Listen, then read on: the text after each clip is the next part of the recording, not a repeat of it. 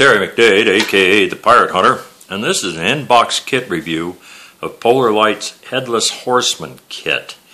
It's in 1 8 scale, and I bought this for the 2016 Pop build on International Scale Modeler. This is a big box. It's 14 and a quarter inches by 10 inches, and when I got it, it had even quite a whoop-de-doo right in the center of it here where they had all the plastic in here. There's only approximately 58 parts, I think, in this kit. But the amount of plastic in just them 58 parts is pretty amazing. On this one, you can put away your PE glasses and tweezers and enjoy this one. You don't you aren't going to need them on this one. There's no small parts on this. And if you're really into de decaling and really enjoy that, you'll enjoy this one because there's only a choice of two decals on it. So if this video is a little um, strange on it, I broke my camera mount for my Tab 2 and I've got it Grouse Creek field engineered to try to be able to do this till I can get another one for it. So let's go ahead and start with this. The box art on this is pretty good. The one thing uh, I don't really like on this is the eye on the horse here. It's just, I don't know, something strange looking on it. And Two Kids No Sleep made a comment on the reveal on ISM about red eyes, and I've got to re- I've got to agree with him on that. This thing definitely needs red eyes on it. Front of your box looks as the box art on it, which is pretty good. Standard skill level 2 plastic assembly model kit age 10 on up the side of the box, I don't know, uh, it's just got more same information on the front on it rather than try to get this big box turned under that camera. On the back of this is from the legend Sleepy Hollow rides the Headless Horseman. The model stands over 11 inches tall. And this is what they, one of the painting suggestions on this. And as I said on the eyes, the way they're painted on an actual model, they just look strange. It's red eyes have got to go in there. It's uh, this is what you see is what you get on this. It includes an 8-inch base with detailed tree and pumpkins, realistic, realistic textures, nameplate with decal, parts molded in black. This is your only decal you got in here. You can either put Headless Horseman on there or Graveyard, I think, and that's it for the decaling in this one. Standard warnings, choking hazard, small parts, not for children under three. Uh, skill level two, age 10 on up. Shows you the different stuff you need on it. Collectormodel.com, round2models.com on it is the information on that. So let's look at it and see what we got. I said I already reviewed this in for ISM, so I've already had the plastic bags out. Now, once you take the plastic bags out of this, it's a little tough to get them all back in there in the order they go. When you open it up, there is a large amount of plastic in there. So let's look at this and see what we got. I don't know how well the camera's going to work on the detail on this. This is uh, first part out. There's part of the tree branches. And this is part of the horse's hide. There's a lot of hair on it, detail on it. This has a uh, detail on that. You can feel there's a lot of detail on this. It's got the stirrups on this one, tree branches, more parts of the horse.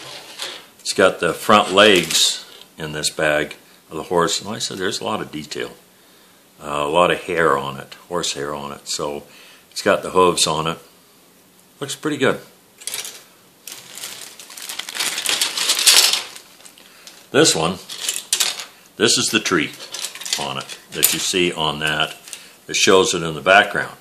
Not only does this uh, snaps together pretty good, it's got guide pins, and when you snap it together, a little tiny bit of seam, but I think when you glue it together, it ought to take a lot of this away. Everything has got guide pins on it, so and they can either be a bane or they can be a blessing on building stuff like this tree limb. There's other parts of the tree limb tree in here also.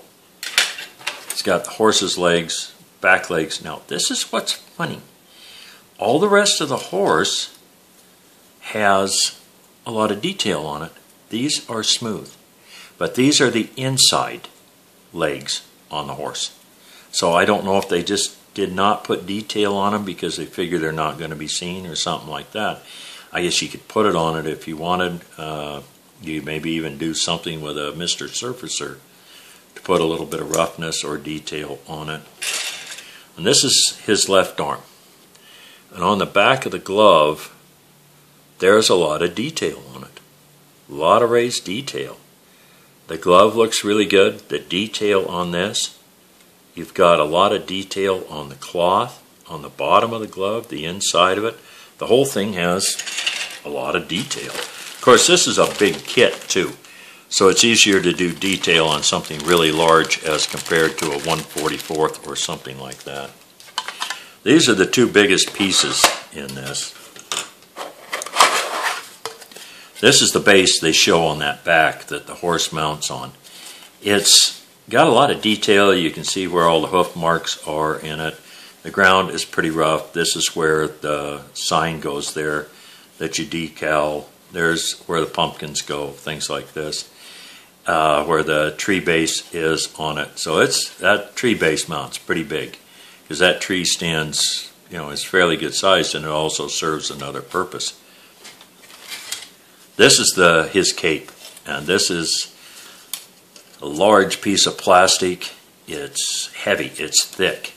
It's uh, different than what you see on a lot of the uh, Disney, on the Disney Legend of Sleepy Hollow or the Headless Horseman, whatever you want to call it. His had more of a cape that looked almost like Batman or Superman on it in the cartoon. But this, again, a lot of detail, heavy, it looks good though. It's got the number 22 on it, so in case you get confused and don't know what part it is. This is half of the horse. And this is the other half of the horse. They come in separate bags because they're pretty good sized on this. Again, a lot of horsehair on it, a lot of detail on the saddle. The tack has a lot of detail on it. The one thing that I think I will do where this to make it stand out just a little bit.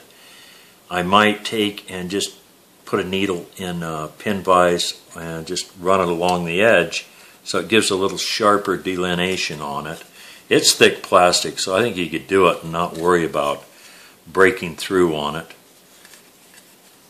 Belly of the horse, same detail, same on the other side. Uh, you can see where the uh, stirrups go and everything else. Good looking, like I said, good looking model so far. There's no flash on it that I found yet.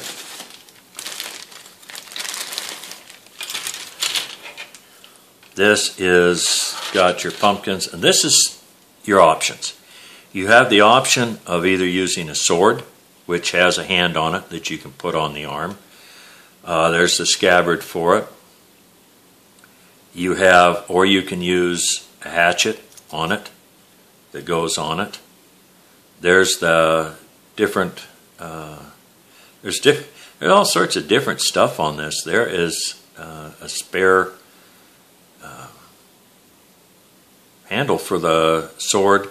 The spurs are here. There is a spare hand for it. There's something, I don't know what that is. That's your signpost for your only two decals. This is for your reins, and it's got for the bit on it. And the way they stick down there, I think I'll change that a little bit so they're not straight, quite so squared off. Change it a little tiny bit on it. So I think what this is for is you can use, if you're using the hatchet, you take and you can put this in the scabbard for the sword that he'll have on his side also. But I, the, I gotta admit, I would rather use a sword on it. That's what the original one I ever watched, and that's pretty much what he is always showing carrying.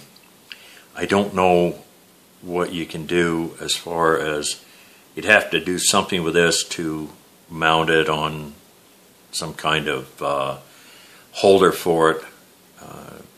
cut this off. I don't know. We'll figure it out on that. If I go with a sword, I'll figure something to do to put that on. This is all the pumpkins that you've seen in the drawing on it, and the horse's mane, a horse's tail, I'm sorry, on it. There's other parts here. The pumpkins are really, really, really good looking on it. There's a lot of big detail, not a lot. So it's really, it's really a pretty good kit. This is the last one of the sheets of, of the sprues of plastic. This is another one of his arms. So you can change this and use different arms on it, things like that, based on what you want to do. It, again, the detail matches the detail on the other gloves. So it's, again, um, uh, got alignment pins on it. And this is his body. And the front of this is got a lot of detail on the front of his uh, shirt or jacket, whatever you want to call it. There's his, uh, the bottom. There's his back on this. Not a lot of detail into it because the cape's going to hide that. The bottom of his, where it goes onto here, it's got a lot of detail on it. His legs have got a lot of detail on them, so you can. There's a lot of this that's really um, detail oriented, and this is where I think it's going to be on uh, the decals, which I like, are were individually packaged with a little protector on it. There's your two, your whole two decals in the kit. Look pretty good on it. They're in register. Look good. This is your decals. Uh, decals. It's been a long day. This is your uh, instructions on assembly instructions. Step one, which is your the tree and the base, the pumpkins on this.